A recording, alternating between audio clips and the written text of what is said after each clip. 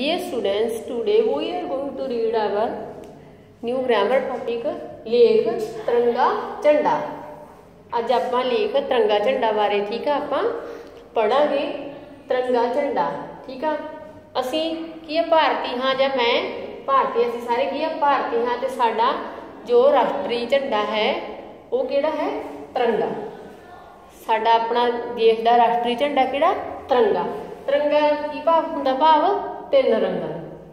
ਇਸ ਵਿੱਚ ਤਿੰਨ ਰੰਗ ਹਨ। ਤਿੰਨ ਰੰਗ ਤੋਂ ਭਾਵ ਬਣਿਆ ਤਿਰੰਗਾ, ਠੀਕ ਆ? ਸਭ ਤੋਂ ਉੱਪਰ ਇਹਦੇ ਕੇਸਰੀ ਰੰਗ ਹੈ, ਜੋ ਕਿ ਕੁਰਬਾਨੀ ਲਈ ਪ੍ਰੇਰਦਾ ਹੈ। ਕੇਸਰੀ ਰੰਗ ਜੋ ਕਿ ਕੁਰਬਾਨੀ ਲਈ ਪ੍ਰੇਰਦਾ ਹੈ। ਵਿਚਕਾਰ ਕਿਹੜਾ ਗਾ?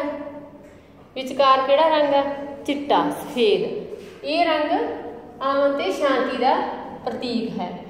ਸਭ ਤੋਂ ਹੇਠਾਂ ਹਰਾ ਰੰਗ ਹੈ, ਜੋ ਕਿ ਖੁਸ਼ਹਾਲੀ ਦਾ ਪ੍ਰਤੀਕ ਹੈ।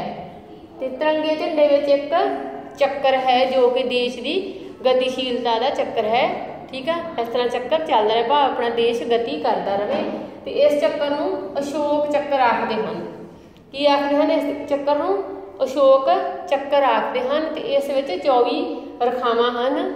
ਠੀਕ ਹੈ 24 ਰਖਾਵਾਂ ਮਤਲਬ ਦਿਨ ਵਿੱਚ 24 ਘੰਟੇ ਹੁੰਦੇ ਹਨ ਕਿ ਅਸੀਂ 24 ਘੰਟੇ ਲਗਾਤਾਰ ਦੇਸ਼ ਸਾਡਾ ਤਰੱਕੀ ਕਰਦਾ ਰਹੇ ਠੀਕ ਹੈ, ਇਸ ਵਿੱਚ 24 ਰਖਾਵਾਂ ਹਨ ਤੇ ਹਰ ਸਾਲ ਤਿਰੰਗਾ ਝੰਡਾ 15 ਅਗਸਤ ਭਾਵ ਜਦੋਂ ਇੰਡੀਪੈਂਡੈਂਸ ਡੇ ਆਉਂਦਾ, ਆਜ਼ਾਦੀ ਦਾ ਆਪਣਾ ਦਿਨ ਆਉਂਦਾ, ਜਦੋਂ ਆਪਾਂ ਨੂੰ ਆਜ਼ਾਦੀ ਮਿਲੀ ਸੀ 15 ਅਗਸਤ 1947 ਨੂੰ, ਉਸ ਦਿਨ ਇਹ, ਠੀਕ ਆ, ਕੌਮੀ ਪੱਧਰ ਤੇ ਤਿਰੰਗਾ ਸਾਰੇ ਕਿਤੇ ਲਹਿਰਾਇਆ ਜਾਂਦਾ ਤੇ ਦੂਸਰਾ 26 ਜਨਵਰੀ ਨੂੰ।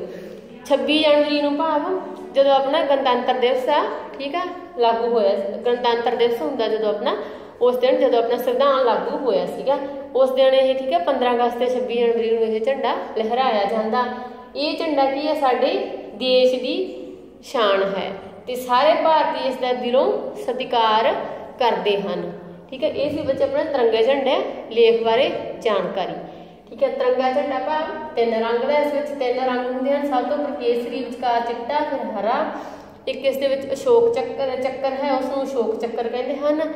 ਉਸ ਵਿੱਚ 24 ਰਖਾਵਾਂ ਹਨ। ਤੇ ਇਹ ਝੰਡਾ 15 ਅਗਸਤ ਤੇ 26 ਜਨਵਰੀ ਨੂੰ ਕੌਮੀ ਪੱਧਰ ਭਾਵ, ਰਾਸ਼ਟਰੀ ਪੱਧਰ ਤੇ ਲਹਿਰਾਇਆ ਜਾਂਦਾ ਹੈ ਤੇ ਇਹ ਸਾਡੇ ਦੇਸ਼ ਦੀ ਸ਼ਾਨ ਹੈ।